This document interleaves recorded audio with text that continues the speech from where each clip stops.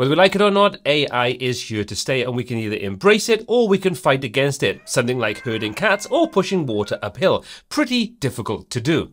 So in this video, I'm going to give you a selection of AI-based tools that you probably have never heard of and you may want to check out. It's quite a diverse range, but let's crack on with the very, very first one.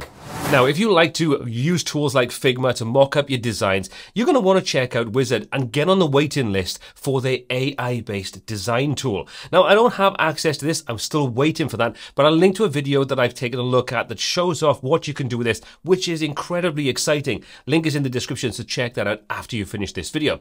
But basically, what Uizard has coming is the AI design tool or your design assistant. So what you can do with this is you can put a prompt in like you'd have with something like ChatGPT and it will then create the design for you. But it won't just create a single mock-up design. It will actually create a flow. So if you're working on creating a mobile responsive design and you want to have the entire flow for this, you can use this to create that flow. You can also have it do full design, so you can have all the images, the color palettes, and everything in there is a great starting point.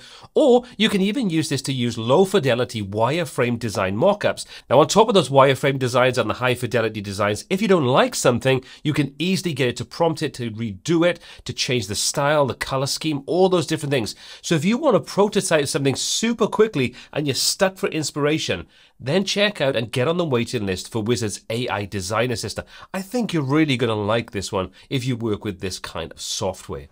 Now, next on our list is durable. There are going to be times where you want to create a simple landing page design for yourself or for a client. You don't necessarily need it to be totally original. You just want to knock it up really quickly, testing things out, getting proof of concept, those types of things.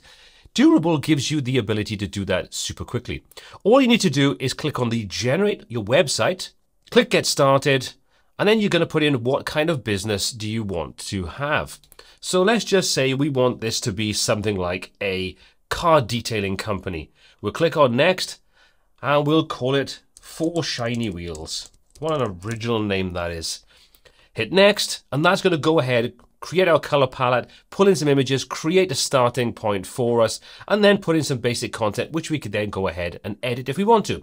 Now, this is just the free option. There is a paid plan, which I think starts at about $12 a month. I'm not affiliated to this in any way, shape, or form but you can check it out if you want to take a look in a bit more detail. And that will give you more control over what you can edit, what you can do, and how you can change things. There we go. After a few moments, you can see it set everything up, and we can now go ahead and take a look at our website.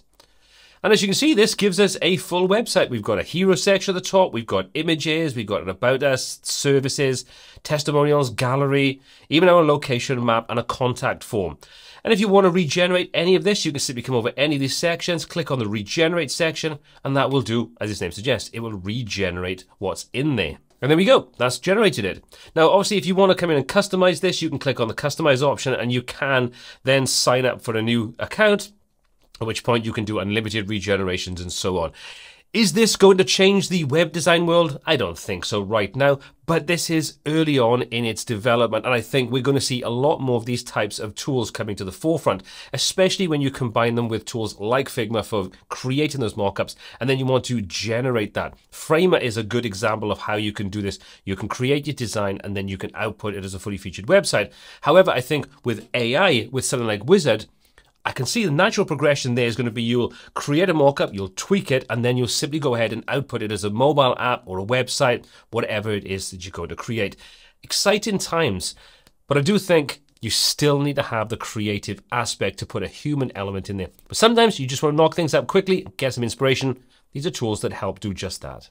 Now then, how many times have you been on a call with a client, you're frantically making notes, and then you find out afterwards when you're going to do the work, the project, the quote, whatever it is, that you've kind of forgotten some important information or you've made an incorrect note. Well, this is where TLDV may come in handy. What this allows you to do is basically run this, have your meetings recorded, and it will automatically transcribe the entire meeting for you after it's finished. So you'll have a full list by list of everything that was said inside that meeting without having to make a single note yourself. The cool thing is, this integrates with both Google Meet and Zoom, two are probably the most popular tools out there for having meetings, whether that's collaboration meetings, group meetings, or whatever. So it's pretty cool that you can use something like this. Now, there are free and pro plans, so you can check this out for yourself. You can see The free plan gives you unlimited recordings, but obviously it's going to give you a limitation in some respects. But if you are using this in a professional environment and you want to save yourself time, effort, and headache of missing things out, I think $20 per month is a pretty good price just to make sure that you don't have any problems. Check out TLDV and take a look at what that could do for you to save you time and effort and headaches with meetings. Now, sticking with that meetings and presentations and so on, Beautiful.ai might be something you want to check out. If, like me, you kind of suck a little bit at doing presentations with slides and all those kind of things, or you just literally have no inkling to want to do it whatsoever, it's kind of boring, well, Beautiful.ai could save the day for you. You can use this to create your whole template structure and have this create presentations for you. It's a pretty cool little way of working. So, for example, you can see we can try some examples, and this will go ahead and create example slides for us. And as you can see, it's a pretty nice looking slide. It's a good starting point want to do word clouds, names of the planets, we can click, we can have it generate something different. And you can see you could create things like this yourself, but the reality is something like this could make it so much quicker and easier, and you end up with great looking slides. Now, you don't have to use it in this way. Let's say, for example, you create white label training for your clients, you might create online courses, any manner of different things. This could be used to create the slides that you want to have talking points, to have interim slides that kind of just emphasize a point, whatever you want to use them for. Beautiful.ai is pretty cool and pretty interesting if you have a need for this type of layout and design. From a pricing point of view, it starts at about $12 per month. And again, if you're using tools like this and you have a need for them, you kind of have to offset how much would it cost you per month to how much time would it take to actually go ahead and create these for yourself. I think $12 is probably about 10 minutes worth of work for most designers, if not less. And if that could save you several hours, I think $12, 12 bucks, 12 cents, whatever it is going to be, I think that's going to be absolutely incredible value for money. Anyway, check out beautiful.ai. Now, if you're like a lot of people and you need to give presentations but you don't feel comfortable on camera, you may want to check out HeyGen. This is an avatar-based AI tool that allows you to create great looking presentations. Sure, they're not as good as having a human giving the presentation in real time, actually saying what they want to say. But not everybody is comfortable doing that. Hey HeyGen is kind of like that middle ground. You can take a look at doing this yourself so you can try it out for free and once you do, you'll see this gives you a kind of Canva-esque layout. You've got all the different templates and things down the left-hand side. You can choose between different avatars. Now, obviously, the free test version is going to be quite limited, but you'll see you can do talking photos. You can have your own custom avatars, and there's an abundance of different types of avatars inside you. You can drop text in, you can drop elements in, you can upload your own assets.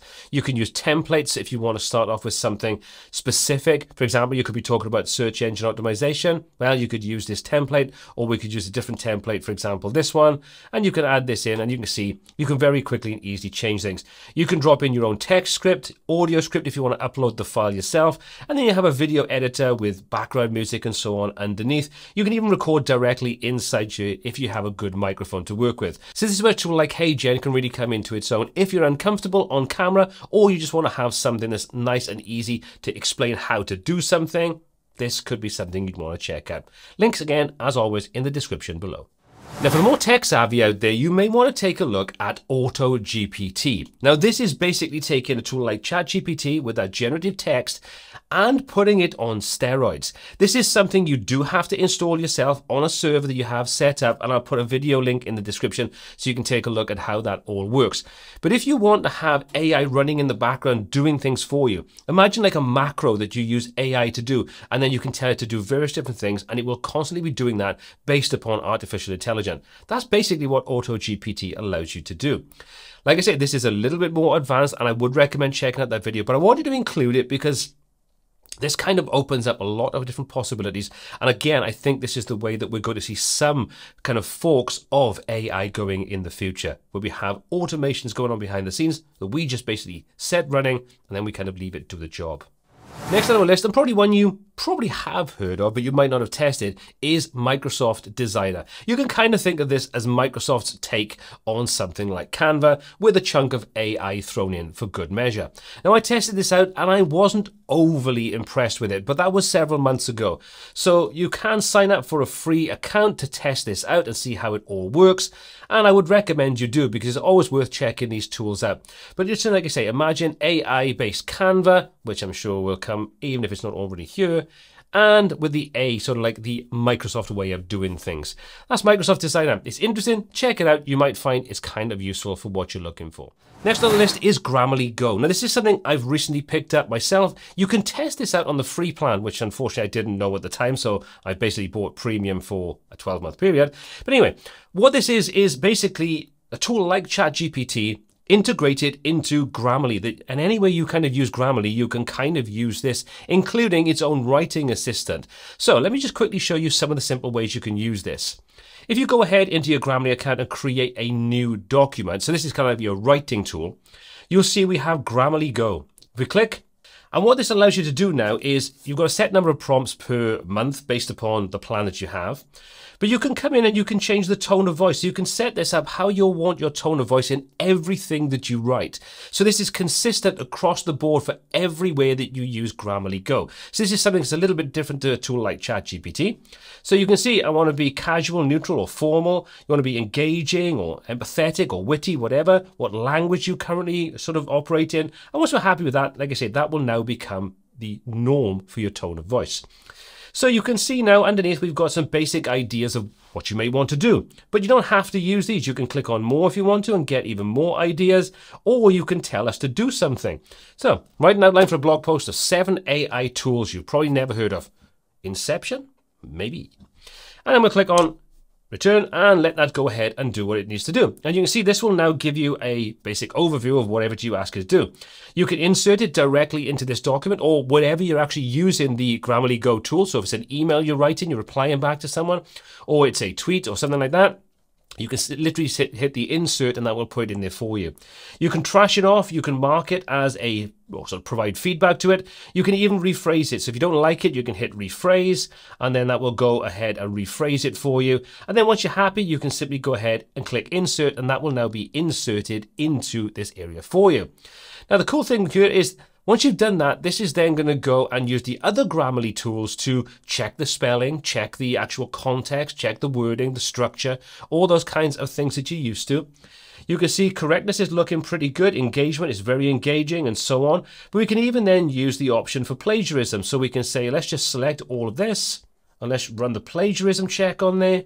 And as you can see, it comes back and tells you actually it's found 13% of this small block of text has content that it's seen from somewhere else. So it could be plagiarism.